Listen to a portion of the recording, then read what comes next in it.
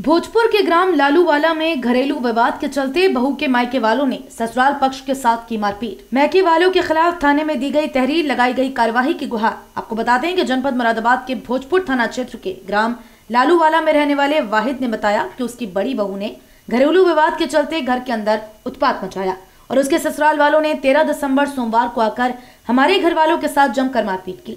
साथ ही वाजिद ने आरोप लगाया कि घर में कुछ पैसे और जेवर रखे थे। उसे भी मैके पक्ष वाले अपने साथ लेकर चले गए, जहाँ पीड़ित परिवार ने भोजपुर थाने में तहरीर देकर मामले में कार्यवाही की गुहार लगाई है।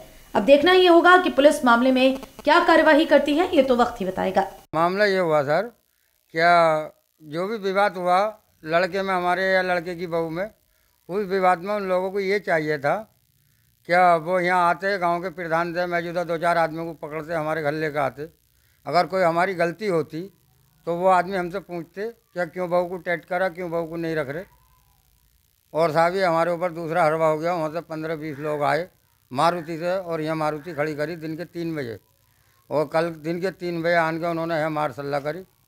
मेरी लोंडिया पर हरवा करा, मेरी छोटी बहू पर हरवा करा, मेरी बहू पर हरवा करा, और ये दूसरा उनका चक्कर हो गया, दस पंद्रह लड़के आते हैं, उसमें वो अपने रिश्तेदारों को भी बुला लेते हैं लिहाजा हमारे साथ में इंसाफ होना चाहिए।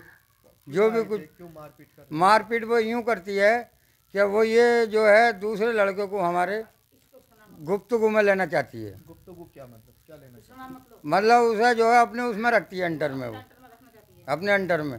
दबाव में दबाव में रखना चाहती है। ऐसा क्यों करना चाहती है? पता नहीं साहब वो हमें डेढ़ साल से कमा के भी नहीं दे रहा। अब वो कल उससे भोजन लगा कि मैं तुझसे अपना हक हिसाब पूछूँगा क्या दिया क्या ना लिया इस बात पे ये। जो उस पर को बिगड़ी। आपकी बहू का और आपके बेटे का कुछ चल रहा है क्या? नहीं कुछ नहीं चलने का कोई हिसाब नहीं है। अच्छा। हम्म। तो फिर मारपीट करी और क्या क्या कराया? तो मारपीट तो साहब उनमें दोनों में हुई थी हम घर थोड़ी थे। बाकी मारपीट हमारे बच्चों को जो मारा हमारी लड़की को मारा हमारी बहू को मारा है ये गलत करा है। अगर कोई हमारी गलती थी तो हमारे गाँव के मौजूदा प्रधान को बुलाते और वगैरह वगैरह को बुलाते वो आन के बात करते। कितने लोगों की चोटें आई? क्या क्या सामान गायब देखिए ये सामान तो कुछ चीज़ तो वो हमारी अभी एक दूसरी लड़के के हमने रिश्ता करा गाँव में उसकी चीज़ थी। और इससे कल हमने दो लाख रुपए लिए थे अब दस पंद्रह लड़के थे उनमें तक ये पता नहीं किन्ने निकाले क्या करा। कितने पैसे कम दो लाख रुपए लिए थे हमने पड़ोसी को ये ज़मीन बेच रखी है। दो लाख रुपए गायब है हाँ दो लाख रुपए गायब है मेरे। पुलिस में शिकायत कर दी आप पुलिस ने हमसे शिकायत करी है अब कल हमने चार बजे हमारी घरवाली गई थी।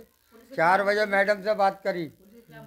तो मैडम ने ये कहा बोले ये रिपोर्ट आप वहाँ लिखाइए जहाँ उ- जौन सा उनका थाना लगता है। तो आपने कौन से थाने में अब शिकायत दी अब हमने शिकायत भोजपुर थाने में दी है। क्या कह रहे हैं पुलिस वाले? उन्होंने ये कहा हम बातचीत करेंगे इस बात की। आप क्या चाहते हो? हम तो ये चाहते हैं कि हमारा घर भी बना रहे वो भी रहे और हम भी रहें विचार सही हो। अगर उसकी गलती है तो उसके सिर रखी जाए हमारी गलती है तो हमारे सिर रखी जाए।